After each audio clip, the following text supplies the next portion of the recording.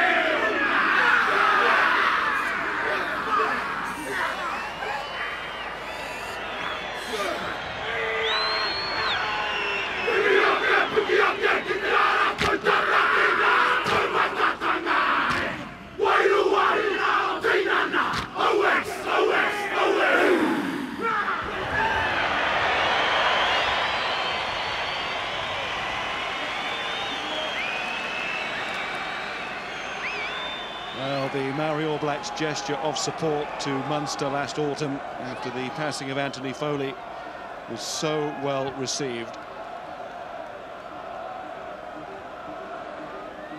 Just maybe the selection of Peter O'Mahony as captain feels rather appropriate then.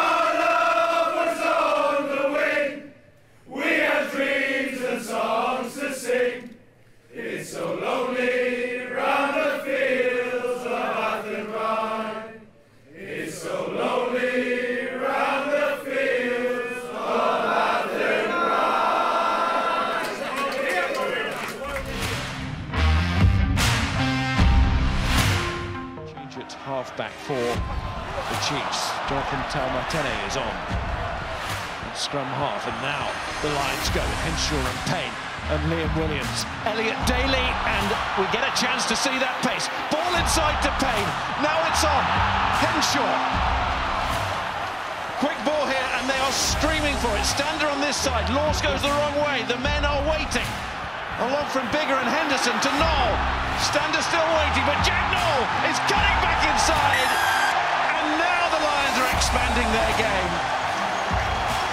Supporters out of their seats, and why not?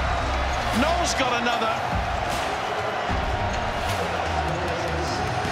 Well, that's the one that's really got the travelling supporters going. A lovely try have to be said once again the roots come in an awful line out from the Chiefs over the top and the Lions decide to counter Daly does it brilliantly with his pace and the timing Haskell smashes his man back Courtney Lawes gets it wrong initially but Nowell resurrects the move going wide swerving in he loves those broken field situations but Daly does very well. Nowell, ball in two hands until he knows Donald has gone the wrong way, cuts back in field for the score.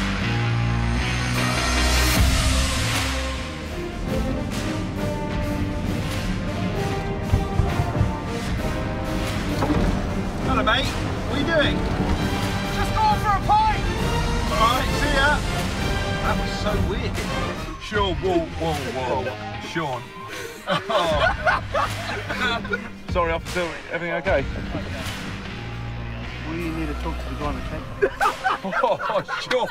Sean. That side, that side. That side, Sean. Unbelievable. Five points we get. enough, but it's actually in a fence. You're hanging out the window. He's not um, a, not a. Same for yourself. Oh, God. It's not a Don't deck, be mate. ashamed, man. Right, Sean, uh, do you want me to call, Sean? you call Dave Barton? O'Brien. Who? O'Brien. Oh, who? Is this his lineup, is it? No, no. Speak English? Come over here, mate.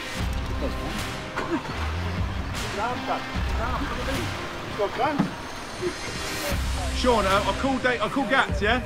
Oh, cool. oh, sorry, mate. Sorry, officer. Sorry, that's, um, yeah, yeah, oh, sorry mate, no I don't, sorry. Mate. Hold on. What's happening here? Oh, it's going out. It's getting out. Shut up. Shut up. Oh, get, get.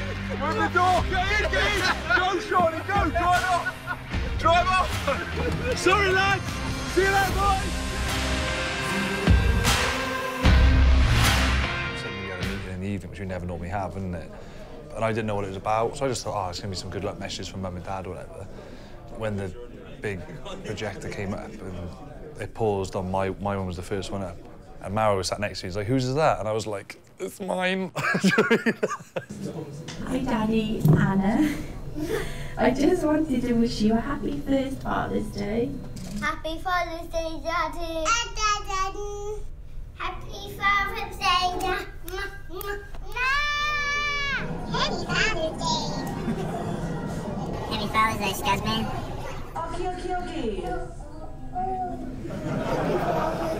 Daddy. I, I'll see you on Saturday. Wednesday. Wednesday. kind of don't plan for special moments like that, but that was kind of like a pretty special moment within the team. It was kind of like we're all in this together and everyone's going through the same sort of thing. Father's Day, and I miss you, Daddy, and I love you. Hi Dad, happy Father's Day. Let's hope we stuff the All Blacks on Saturday. Missing you. Happy Father's Day, Daddy Ubi. Happy Father's Day. Happy Father's Day, Daddy. We love you and we miss you so much. We love you and we miss you so much. So you get a kid. I did miss after seeing that. And what was nice as well, that they didn't, it wasn't just for the players, it was for management as well, wasn't it? And everybody left that meeting with a smile on their face, whether they're kids or not, you know? So I thought that was, that was nice, wasn't it? If guys are happy at home and their partners and mums and dads and kids are, are happy, then you get a better player, you get a better person. obviously pleased for the boys that have been picked. Uh, got a big job ahead of them on Saturday, but you know there's some quality players. I'll support Mac and Jack uh, as much as I can to make sure they're ready for, for Saturday. Um, and uh, but now we've got to recover well, and we've got to recover well, uh, look after the bodies, get them right, and then hopefully get ready for training tomorrow. And, and help them out as much as we can. We're very brief tonight, guys. Um, you'll remember I mentioned that the Lions was special. The Lions are you absolutely unique, and I know that by now on this tour, all you guys know that. And tomorrow will be the most important match of your lives. First test, New Zealand, their territory. They don't come any greater than that. Earn these places, and we trust you. Best wishes to you all. so there you are, guys. Brian O'Driscoll. I know, some of you know him better than me.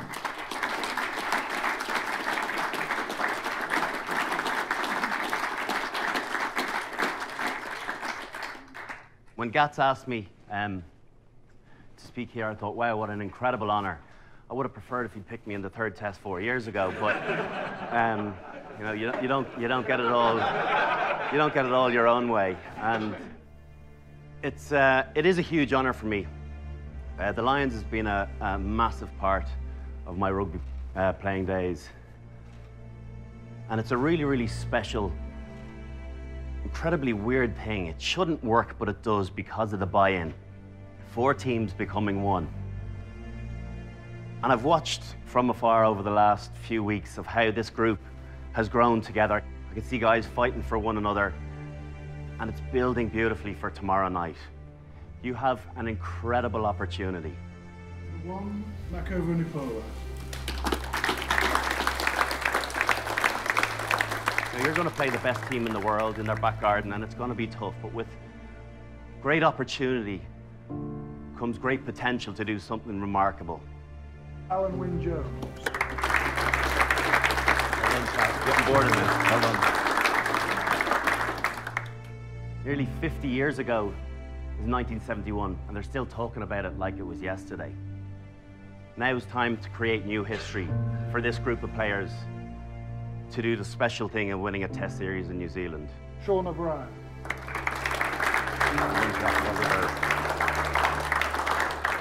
I've become a, a, fan like everyone else, thousands of people that have come over here to follow you and support you and will you on. We're right behind you. We know that you can do it. Return Owen Farrell. Okay, so well, yeah. Usual game. Big game players produce on occasions like tomorrow. Be that player. Have the best game you've ever played in any jersey.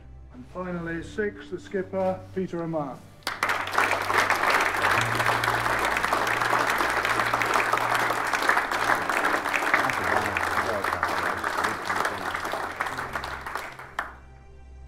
Think about that over the next 24 hours. Your best ever game. I can guarantee you no team will beat you if you do that.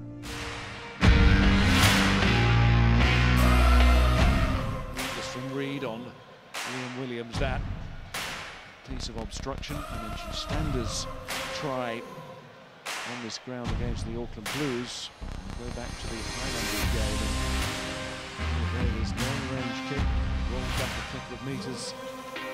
The officials made all the difference. We know we can get them from here.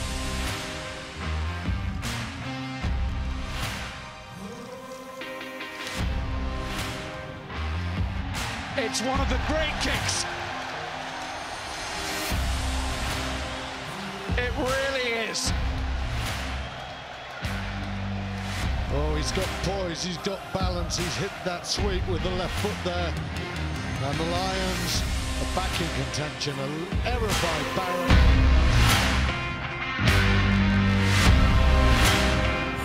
Smith again. Cruden. Watson to Liam Williams, good step. They need some support, Oi. maybe, maybe not. Liam Williams looking all around, where's that support now? It's come from Jonathan Davies. Now Elliot Daly, show those wheels, inside to Davis. Inside and out, it's got to be finished. It is finished. Sean O'Brien. And the Lions say to New Zealand, this what they can do. That is one of the great Lions test tries. We said they needed to score any score, but Liam Williams, matador movement to leave Read for dead. Cruden doesn't have the pace. He's inside the inside centre, and you think the support lines aren't there, but Davies gets there daily. Inside and outside, that is brilliant. Davies out and in. Who's on support? Sean O'Brien, he's gone the length of the field. The running lines were brilliant. Liam Williams, quite superb. He's done Sonny Williams, he's done Cruden. Oh, and then the support play. And watch this now, Daly as he comes in to fix his man and the pass. It's like the try against the Chiefs, except this one counts a hundred times more. Take it back to the training ground. No pressure, close your mind to the boos. The roars. Here it builds.